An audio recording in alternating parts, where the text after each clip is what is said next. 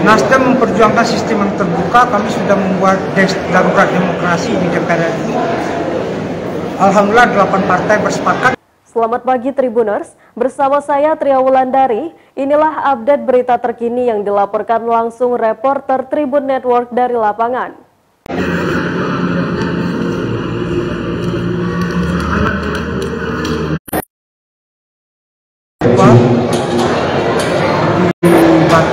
Dan hari ini Sumatera 3 di kota Palembang meliputi Lampung, Sumsel, Jambi dan Bapel. Ini kami mengundang beberapa bacalek kami seluruh tingkatan untuk mengecek kesiapan.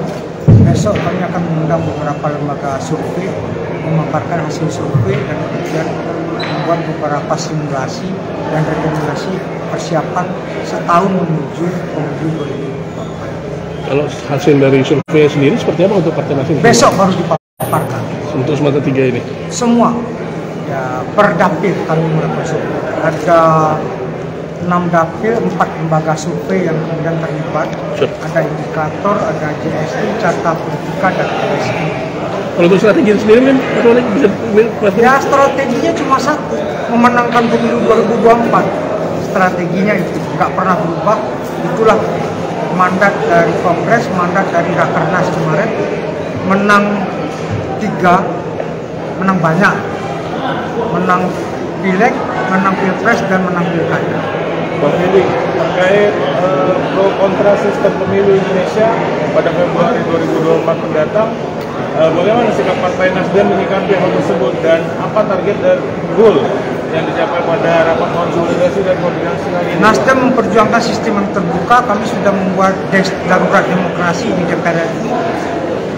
Alhamdulillah 8 partai bersepakat untuk ini terbuka. Kita sudah mendengar juga pernyataan dari pemerintah terbuka, DPR terbuka.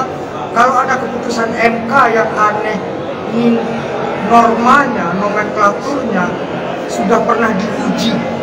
Jadi itu adalah sebuah nomenklatur yang menjadi open legal policy. Open legal policy itu apa? Domainnya ada di pembuat peraturan perundang yaitu DPR.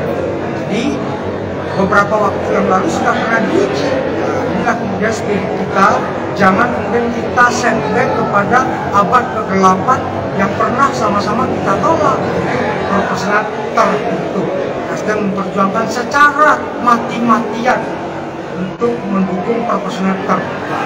Biar kita tidak beli kucing dalam karung. Jangan-jangan kakek isinya tidak kucing, tapi tikus isinya.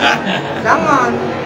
Jadi coro galo gitu. Ketokohan Nasdem saat ini gimana? Ya, tokoh beliau kan ada ini gubernur, ini yang kita DPR RI. Jadi kalau stop ketokohan Nasdem ini Real Madrid, Manchester City, isinya tokoh galo.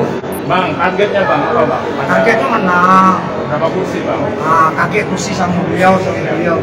Saya ini nggak mengantarkan baik. Pak Bu, bisa dijelaskan Pak Bu?